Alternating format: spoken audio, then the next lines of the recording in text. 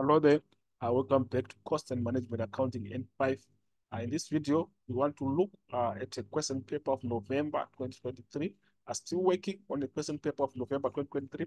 Uh, in this video, we're going to look at question four of that question paper, and it's on the preparation of the stock cards uh, using the weighted average method. So uh, the question that we have reads that the following information is extracted from the records of zone manufacturers on 31 December 2020 prepare the stock card for zone manufacturers by using the information given below according to the weighted average method. Uh, in brackets, all amounts must be rounded uh, to the nearest rand. Very important to take note uh, that we are going to round off uh, any uh, uh, answer that we are going to get that has got some uh, decimal places. Then we are supposed to round it to the nearest rand. Uh, to the nearest rand ju just means uh, uh, the same as saying uh, to the nearest one number as simple as that. So our question has got 12 marks. So uh, this is December 2020, and on the first part, we have got uh, opening balance of item uh, 63L was 80 units at 75 rands. So this is our opening balance. So we can go back to our, go to our answer section and see what we have. So we have got the stock card of zone manufacturers on 31 December 2020, and we have got the receipts uh, columns, and they've got issues column, and then the balance uh, uh, columns. So um, we are going to start with the balance. Let's just refer back to the balance to see what we have. And we have got 80 units at 75 rands. So this is going to be our opening balance. So we can go up there and see that, uh, remember the date is one there. So we're just going to indicate it as such. So one is our date, which is here, uh, which is indicated. And then um, we go to the balance section. That's where we are going to uh, put our opening balances. Remember, we've got 80 units. Uh, so our units here, we have got 80. And then the price that we're given there is 75 rand. So uh, we can just indicate that 75 rand. Then uh, on the total part, we are now going to multiply 80 times 75 to get the total. And the total that we are having is 6,000. If you multiply uh, 80 uh, times 75, we are going to get your, your 6,000. So we are just going to indicate as such. So um, here, now we are saying uh, 6,000. So this is what we have. Then we go to the next uh, uh, item that we have uh, on that uh, on, on the information that we are given. Uh, we go to the fifth. Uh, here we are, we are having five, which is December 5. Received 15 units, uh, 15 units purchased at 80 rand each. So these are receipts we are receiving. I remember uh, received, so we are receiving 15 units at 80 rand each. So we go there, we just end out the section that we have. So we are receiving uh, 15 units uh, each one are costing 80. And then obviously the total you're now saying 15 times 80, then you get 1,200. So um, on the balance section, um, remember, we are going uh, to multiply at the average price every time we receive uh, we receive goods. So whenever we the, the receipt, uh, we are supposed to calculate the average price here. Uh, the average price is the one that we use next time if we are going to issue. We are just going to issue at that uh, average price here. So basically what I'm saying is uh, whenever we receive, and uh, we then we are supposed to multiply the average price. Uh, let's see what we are going to do. Uh, so since we are receiving, it means it's going to increase our units. So we're saying 80 plus 15, and then you are going to get 95. This is now our balance. And then um, on the uh, total uh, total column, remember uh, the the price, you can leave it blank here on the balance uh, whenever you receive. So the, because we are going to calculate it as an average. So what we're going to do is, as we are saying, we are receiving. So it's an addition to our, our, our initial balance, which is 6,000. So we're going to say 6,000 plus 1,200. So if you add the two, you're going to see that you're going to get 7,200. And then you can now calculate the average there. So by calculating now, we are saying 7,200 divided by 95, then you get your, your average here uh, if you calculate it and round it off to the nearest uh, rand, which is the whole number, we are going to get 76 rands. So uh, this is 76. So this is our average. And then we can go back now to see uh, on the next transaction, uh, which is on now on the 6th, I returned 12, 12 units to the supplier from the opening stock. So the opening stock is this one. That's where we are going to retain uh, some uh, uh, some goods there, some op uh, some opening stock goods that we are going to retain are there. So um, retaining it means it's going to reduce our stock. So we go back there and try to see where you put. Remember, we've got 12 units, and then um, the cost uh, the, the, the, the price per unit that we are going to use uh, when returning. Uh, let's try to see. Uh, the we are going to use the, the, the, price per unit that is for opening stock. Remember, we are turning um, units of the opening stock, and the return for uh, the the units uh, the, the price per unit for opening stock is uh, you are having it here, which is 75. So this is the one that we are going to use since we are retaining uh, 12 units from the opening stock. So basically, that's what we are going to summarize there. So remember the date uh, is five there. So uh, we go here. Uh, let's try to see. We are now saying uh, we are retaining our 12 units and uh, the 12 units uh, is from opening stock. So we, just, we are just going to indicate it as a negative here. Show that uh, this is a retaining. And then the unit price, remember, we are using of opening stock, which is 75 with this one. So we are going to say 75. And then we multiply 12 at times 75 to get uh, 900. So we have got 900 here. And again, we show it as a negative. So uh, you, you just don't put brackets on the uh, price per unit because uh, it doesn't affect anything. You can just put all the units, which is going to reduce our total units. And then the uh, total value also is going to reduce the total value. So what we're going to do now, we are going to say 95 minus 12 to get the figure that is going to come here as our balance for units.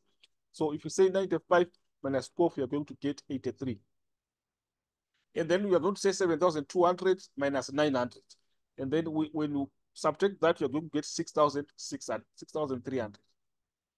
then obviously, we are now calculating the, the average price uh, whereby we are saying uh, 6,300 divided by uh, 83 and obviously to the uh, nearest whole number again, we are going to get 76. So um, here uh, it's going to uh, indicate our 76. So this is what we have. Then we can go to see what we have on the next um, date from 8. We are now here on 13. It's now received 45 units from the supplier, are purchased at uh, 85 uh, rand each. So basically we've got 45 units. This is an addition, uh, other receipts and then uh, the price uh, per unit is 85, uh, as simple as that. So we are going to the column of receipts. When we are here, we are saying uh, received 45. Uh, it's uh, a price per unit of uh, 85. So uh, 45, it's 85. So you are saying 85. Then at the total, you are saying 45 times 85, then you're going to get 3,000, uh, 3,825. So here we are saying 3,825. As simple as that. So uh, this is an addition, remember, so we're going to say 83 plus 45, then we get the balance that we are going to have there, which is 128. So here we've got 128. And obviously, we are going to say uh, on the total part, 6,300 plus 3,825 to get our total uh, there. Uh, let's try to see what we have. We have got uh, 10,125. So here we've got 10,125. Then on the average uh, column, we are going to say 10,125 now divided by 128 so that we get the weighted average here. So uh, if you divide that, uh, we are going to get, uh, let's try to see, we are going to get as to the nearest uh, rand, which is the whole number, I remember, is going to be 79. So here we've got 79. So uh, let's take note that every time we receive, we calculate a new uh, weighted average. So um, this is uh, what we have. So we go to the next uh, date, which is 15. So we can just refer back to see what we have there on the 15th. On the 15th, is saying issue 30 units to the factor. So this is now an issue. So whenever we have an issue, we check uh, the weighted average of the previous uh, the previous calculation that we did weighted average is the one that we're going to pick as price per unit. And then units, obviously, we have 30, that's an issue. We're going to put it in the section of issue. Uh, that is uh, here, issue is here. So let's just uh, maybe refer back to see columns of issues are here. So this is the this is the column that we are going to put here for units is going to come here. So we are saying uh, we issued, uh, the number of units that we issued is 30. So we are going to say 30. Uh, 30 here is our units. Let's just try to see if we are in line. Uh, units is here. For issues, we are going to say, use this column. Uh, we are, so we are here. We are saying uh, 30. Then the price uh, per unit. Uh, remember, we are saying whenever we issue, we when when we are using weighted average uh, methods, whenever we issue, we take the weighted average of the previous uh, calculation. So the previous calculation is here, we've got 79. So this is the one that is going to apply here. So we are going to put it here uh, as 79. And then now uh, on the total part, we're going to say 30 times 79 to get the uh, to get the total. So if you multiply it uh, times 79, you get get get, get 2,370. So you've got uh, 2,370. So this is uh, what we have. So uh, having done this, um, we are now going to calculate the balance. Remember, this issue means is going to reduce uh, the uh, the units that we have. So we can say 128, then we subtract 30. What do we get here? Let's try to calculate that one. We get 98. So here we've got 98 for the units on the balance section. And then uh, the per units, uh, obviously, it's not going to change. Uh, it's not going to change. We are just going to pick this one and uh, put it here. So uh, the uh, uh, price per unit is going to be 79. And then obviously 98 times 79, you get the answer.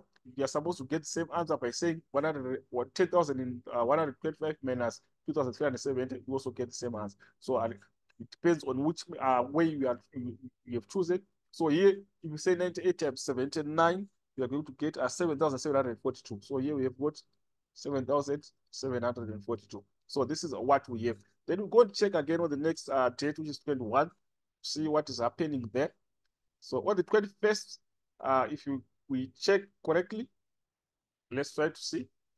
Uh, 21st saying received 35 units purchased at 90 rand each. So this is a receipt again. You go to the columns of receipts, units we've got 35, then um, price per unit is 90. So we can just go and enter that one 21.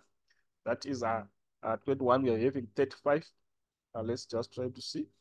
Even 35. And then price per unit uh, is 90.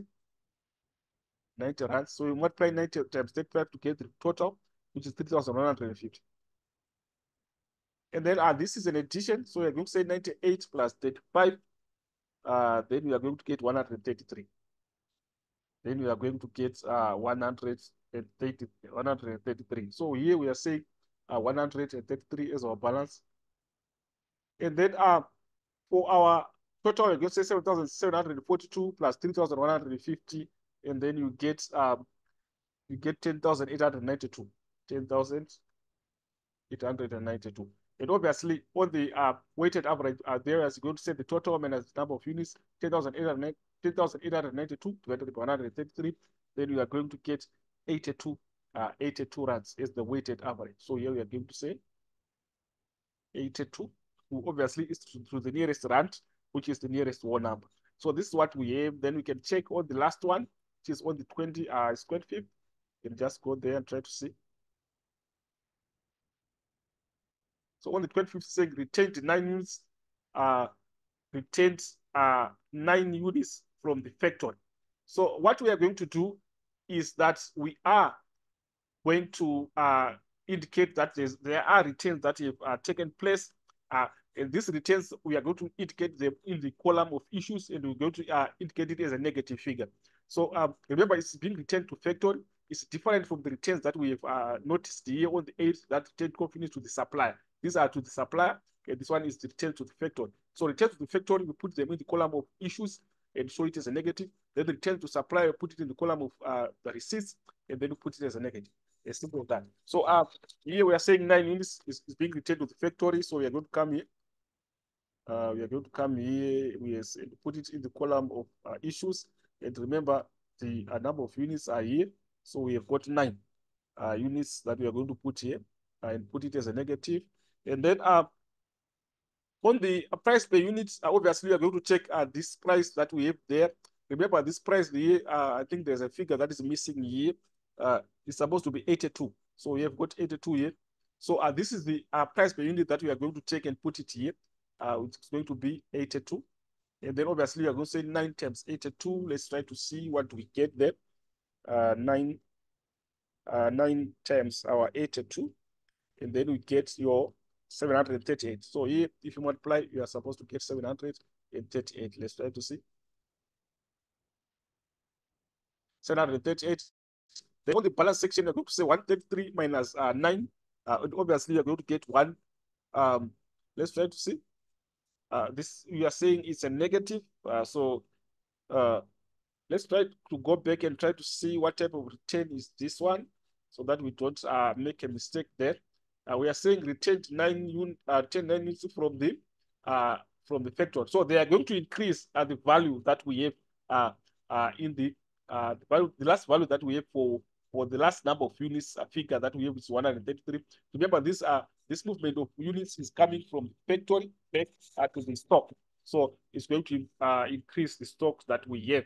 So we come here, we say 133, and then we add uh, 9, and then we get 142. So it means here we've got 142.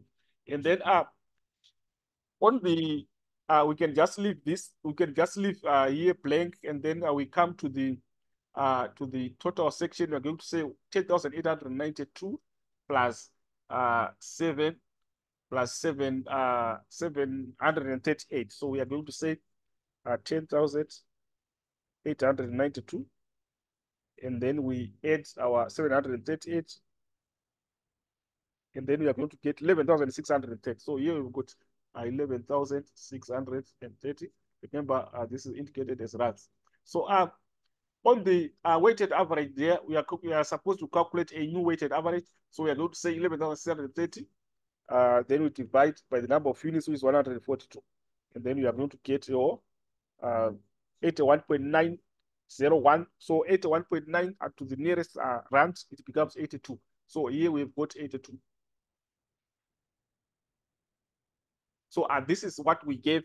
Uh, so uh, the final value that we have of this stock is 11,630. Then we can just refer back to check if, if we have indicated uh, the current sign, that is the rand.